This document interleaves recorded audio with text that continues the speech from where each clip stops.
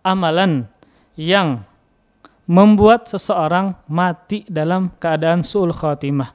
Maka pemahaman sebaliknya dari hadis tadi, kan hadis menyatakan orang yang berbuat baik kepada orang lain akan menghalangi dia dari kesudahan yang buruk, yaitu meninggal dalam keadaan suul khatimah. Maka sebaliknya, orang yang suka berbuat zalim kepada orang lain, orang yang menyakiti orang lain dengan lisannya, dengan tulisannya, dengan hartanya dan seterusnya, maka membuat dia mati dalam keadaan su'ul khatimah. Maka ini yang disebut dengan mafhum mukhalafah, pemahaman sebaliknya dari hadis tadi yaitu orang yang suka berbuat zalim kepada orang lain maka dikhawatirkan kepada dia ditimpakan mati dalam keadaan su'ul khatimah. Maka para ikhwah berhati-hatilah di zaman sekarang.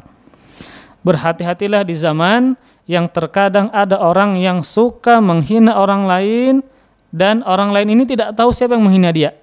Karena dia memiliki medsos dengan akun palsu yang bukan namanya sehingga dia bebas untuk mencela, menzalimi, menghina, merendahkan orang lain, maka hati-hati terhadap ucapan kita dan tulisan kita. Terima kasih. Jazakumullah khairan wa barakallahu fikum. Video ini dibuat atas partisipasi dari donasi Anda. Semoga menjadi amal jariah bagi Anda semuanya.